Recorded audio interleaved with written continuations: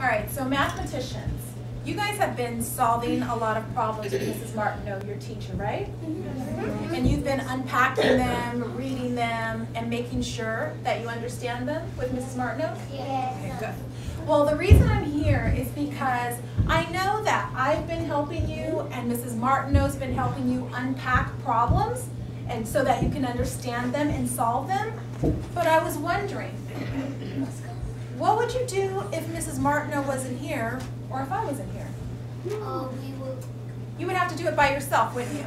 Yes. That's right. And I want to make sure that when you are by yourself, you know exactly how to unpack or understand a problem so that you can solve it all by yourself. So today, I'm going to show you how I unpack problems and how I think about them, and that's how I figure out how to solve them. So I'm going to show you how I do that, and then we're going to try one together. Got it? Because I want to make sure if you're taking a test, or if you're at home doing homework, or you're by yourself and you're reading something, I want to make sure that you know how to read that problem, understand that problem, and solve it. So watch how I unpack. I'll go first. You guys just watch. So the first thing I'm going to do is I'm going to read the whole problem. Okay? Then I'm going to go back and read it line by line. And then I'm going to tell you what I just read. So watch how that goes. Dr. Miller brought blank books to Mrs. Martineau's classroom. She wants to share the books equally with blank students. How many books will each student get? Did you see how I read the whole thing? Mm-hmm. Okay. Now I'm going to go back and I'm going to read and stop at the ending punctuation. And when I get to the ending punctuation, I'm going to envision, I'm going to make a picture in my head of what's happening in that sentence. Because if I can make a picture in my head or envision, that helps me understand the problem better. So I'm going to read and envision and stop so I can understand the problem better. That's how I do that. Dr. Miller, oh I know Dr. Miller, our principal, sure his glasses. Dr. Miller brought books to Mrs. Martineau's classroom. So let me envision. Dr. Miller brought some books, so I can envision her carrying a big pile of books in her hands, and she walks through that door. And she says, hi, boys and girls. All right, so I can envision Dr. Miller bringing a whole big armload full of books to Mrs. Martineau's classroom, right here. She wants to share the books equally with blank students. Stop right there and envision. So let me make a picture in my mind. So she, Dr. Miller, okay, Dr. Miller wants to share the books equally with the students, equally. The same. Equal means the same. So she wants to share the books with the students and they'll get the same. So I can see her going, here boys, one go, here's one for you. Oh, I can see her passing out those books to all the students. How many books will each student get? How many books will each student get? So now I need to look around and see how many books the students got. Okay. Did you guys see how I did that? Did you see how I read and I stopped at the ending sign and I made a picture in my mind? Okay. So now I need to check with myself. I need to check and make sure I really understood this whole problem. So I'm going to retell it in my own words. So when I read this, that made me think that Dr. Miller has some books that she wants to share with all the kids. And I want to find out how many books the kids got. How many of you guys saw me retell that story using my own words? Did I read every single word here, or did I use my own words? I use my own words, and that's exactly what I want you to try. I want you, we'll do it together, to read the whole thing. Then we're going to go back, stop at the ending punctuation, and envision in our mind, make a picture of what's happening, because that helps us understand better. And then when we're all done, we're going to go back and retell what this was about using our own words. Shall we try it together? Okay, so now you guys are going to help me. Ready? Here we go. Here is our problem to do together.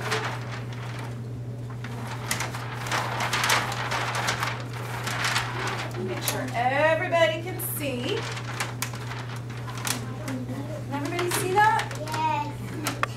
All right, so what are we going to do first? Read the. Read the whole problem.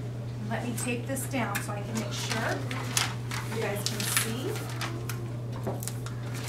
the whole problem. All right, here we go. Mrs. Read with me.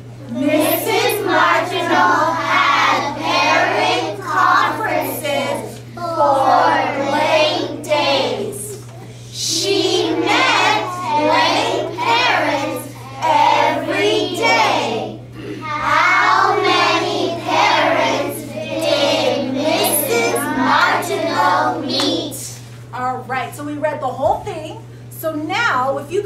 by yourself, you would go back, read every sentence, and stop at the period.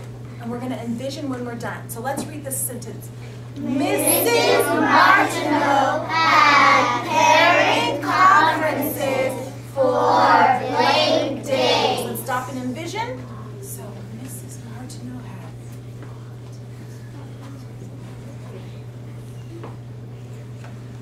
All right, turn and talk. What did you envision? All right,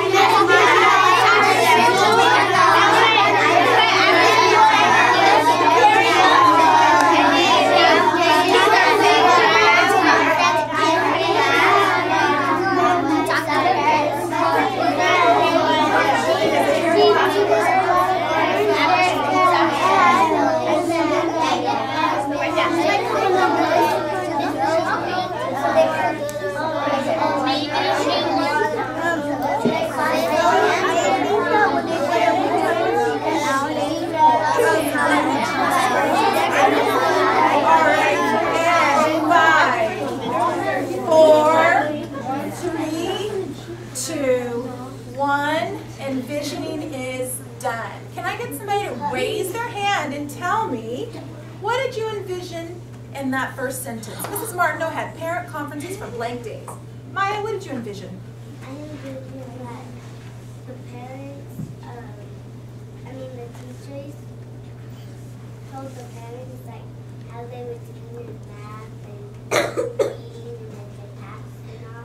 So you envision Mrs. Martineau talking to the parents and telling them how the kids did in math or reading or not? How many of you envision something the same or something different? Raise your hand. Okay. Trinity, what did you envision? I envision like it's after school, some of us are in the at school, like some of us at home, and the and the parent comes and Miss Martineau is talking about the pa- talking to the parent how um how they're doing like in math and stuff. Okay, so you also envision the parents talking to Mrs. Martineau about how they're doing? Beautiful. Let's go to the next sentence. You ready? Here we go. Read it with me. She met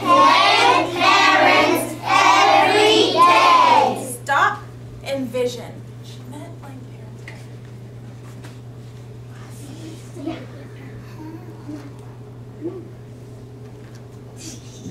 All right, turn and talk. What did you envision? All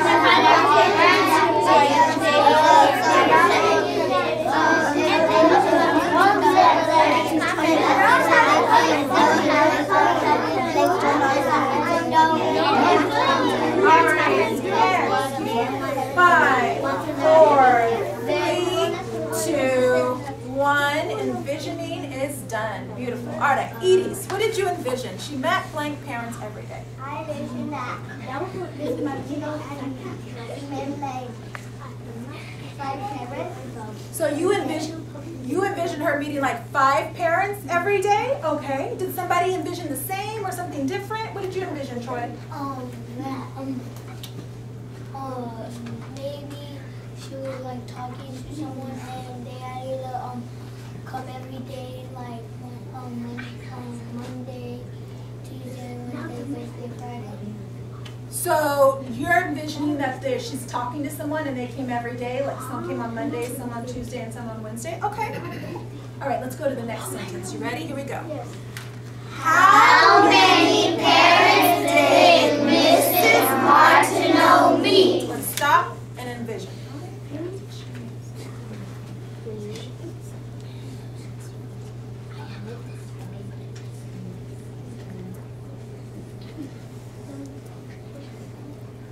All right, turn and talk. What did you She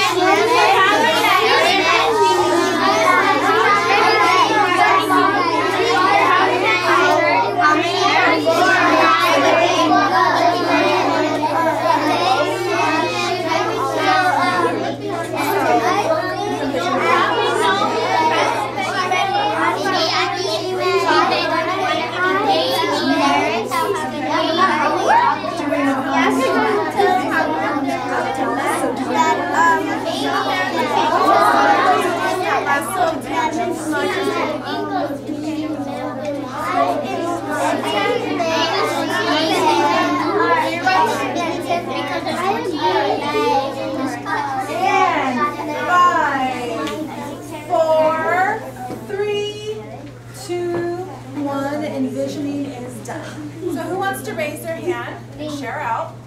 What do you envision happening? Juan, what did you envision? Me?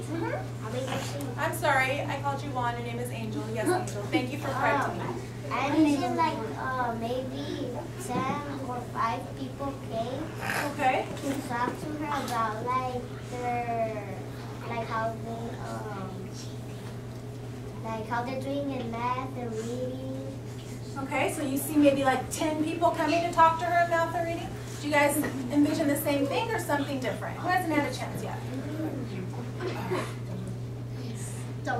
Oh, there's so many choices, so many choices. Tell me your name one more time. Valentina, Valentina, of course. Tell me, Valentina. I envision that there's some parents that we might know what to talk to, like how they how they behave or what they do in class. So you're envisioning her talking to parents and seeing how they did in class? Do we know how many she met with? No. So what are we trying to figure out?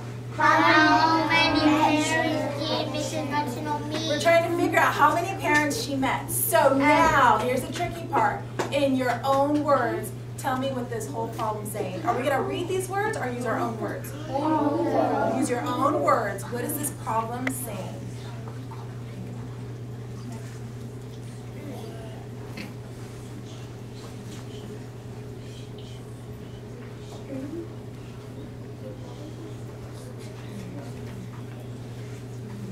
Turn and talk. Oh, How many